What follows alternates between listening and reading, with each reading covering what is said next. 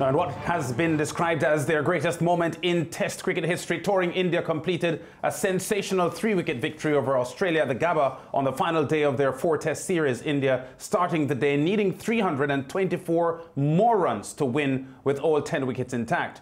Now, with rain in the forecast, a tricky final day uh, wicket and the knowledge of a draw being enough for them to retain the Border Gavaskar Trophy, few would have bet on them going on to win. But as Donald Oliver reports, their final day performance was nothing short of epic.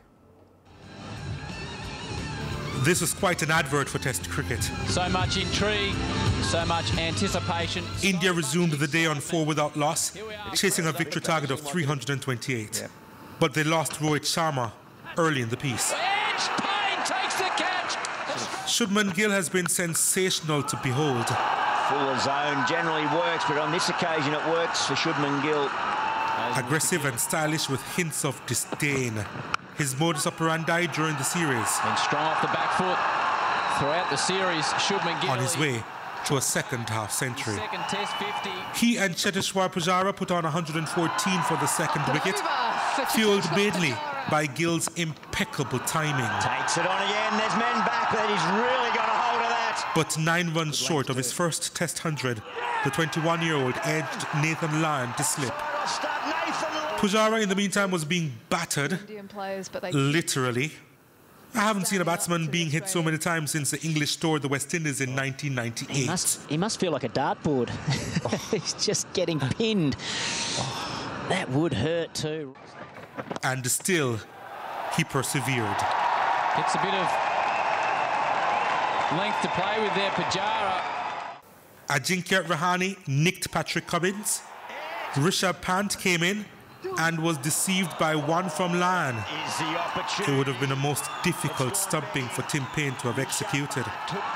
But Pant probably felt luck was on his side as he launched into Lyon in his next over.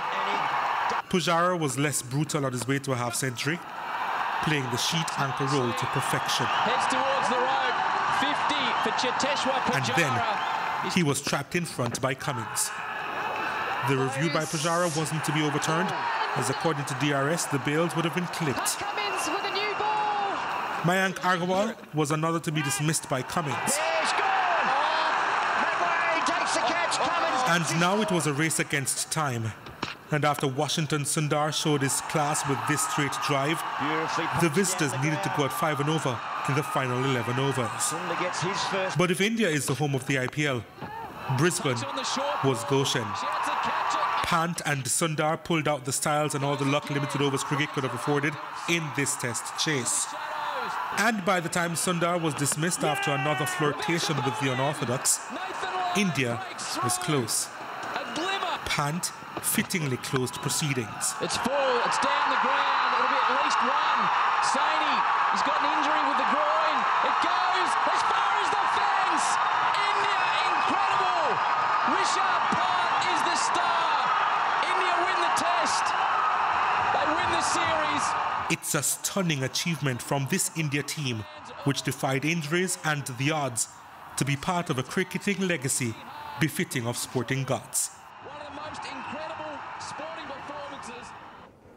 Every ball of this gripping four test series seen live on Sportsmax. We are joined by international cricket commentator Fazeer Mohammed as we relive the final day of what was a riveting test series. Uh, Faz in the Sydney test, the Aussie captain Tim Paine had a lot of chatter and sledging. The Indians decided that they wouldn't talk, they would perform.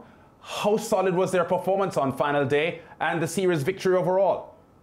It wasn't just solid, Lance; It was inspirational. And I think uh, all of the experts when it comes to Indian cricket, uh, I can't find any reason to fold what they have said. Uh, I've read quite a bit during the course of the day. Sambit Bal, the, the ESPNcricinfo editor, described it as the greatest moment in Indian cricket. And when you try your best to put it in context with all of the different issues, and primarily the loss of almost all of their prominent players throughout the four test matches being routed for 36 in the first test, everyone had written them off with the departure of Kohli.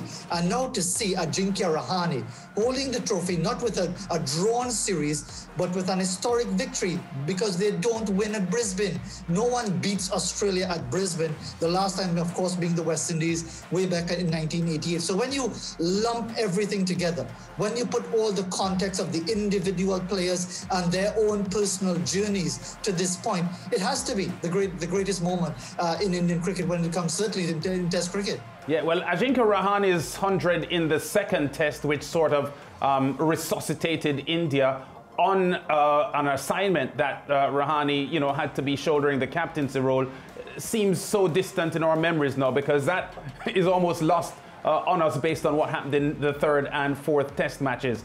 But you mentioned yesterday when we were talking about the West Indies in Bangladesh, Faz, about uh, these young new players trying to galvanize themselves around the new captain, Jason Mohammed. Is that, in a manner of speaking, what happened in Australia with Rahane taking over the reins from Virat Kohli? Absolutely. And I find it difficult to understand why he wasn't named man of the series. Of course, those accolades are, are minor. But when you really think about it, again, taking over the captaincy. You've been decimated for your lowest ever test score. Your captain has just departed, your premier batsman.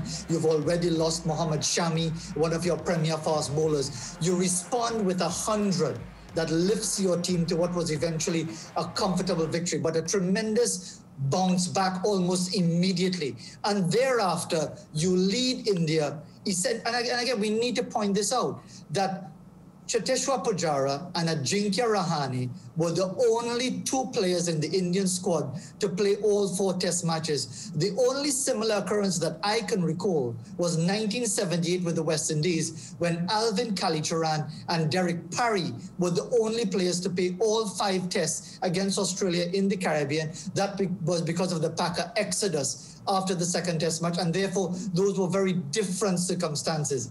I find it difficult not to, to look beyond, uh, to, I find it difficult to have to look beyond Ajinkya Rahane as the man of the series. Yeah, I agree with you, uh, Faz, because I, I know Pat Cummins had a pretty solid season series for the, for the, the Aussies.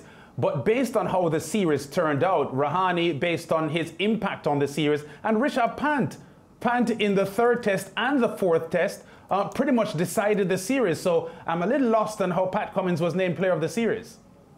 Indeed, but again, okay, maybe it's a hometown decision, whatever it is, and I doubt very much Ajinkya Rahane is losing any sleep over this because at the end of the day, I think what, what India have shown, not just the strength in depth, and I think that is the worrying thing for other nations of the cricketing world, the, the, the level of the depth that they have in Test cricket. The, the fact that they've got someone in Ajinkya Rahane, who many people might be arguing now is a better leader than a Virat Kohli, who leads by example and almost intimidation and so on. And you know, we can get probably carried away with that as well. But uh, I think when, when you look at the, the overall picture of it, you've got an Indian squad where players who played such key roles in retaining the Border Gavaskar Trophy will not find a place in the final 11 for the upcoming series against England. Yeah. Fazeer, let's stay with the captaincy issue a little bit longer because here's the thing.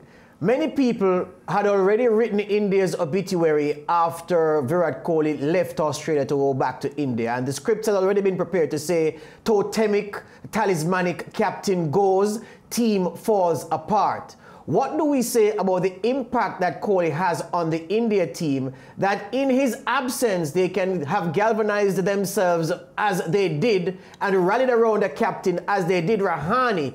Isn't that evidence that the Kohli influence on this India team may be even bigger than we have given him credit for when he has been there physically leading the troops through battle?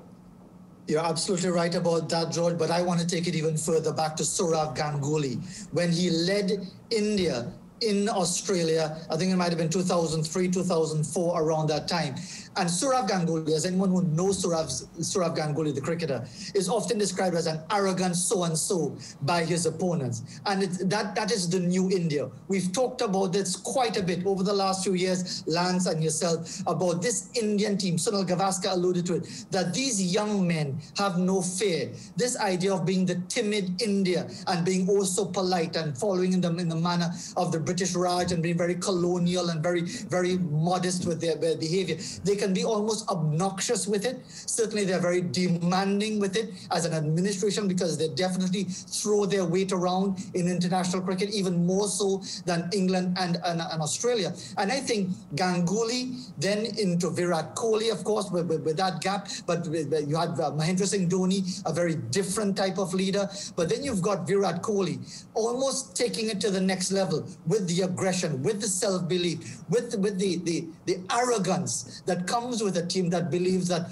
whatever the situation, they can either get out of it they can dominate. It may not happen all the time. They'll need a bit of luck as Rishabh Pant with that stumping chance. That's all part of the game. These things happen. But when a team believes in itself, as Gary Player, the South African golfer, fam- famously said when he was told, well, he's very lucky, he said, you know, the more I play, the luckier I get. Yes. And I think India the more they believe in themselves, the more the luck turns their way. Yeah, we're going to uh, address the issue of Tim Paine's captains in another segment with you, Fazeer, but we had, had to speak about Kohli's influence on, on, on India for now. But let's look at Australia in in uh, it's not perverse, but in in in a, a, a specific kind of way Fazeer, I'm thinking yes, Australia have been beaten two one at home, and the fact that the decisive test came at the Gabba where they have not lost since that nine wicket thrashing at the hands of the West Indies in 1988 must hurt and it must count for something.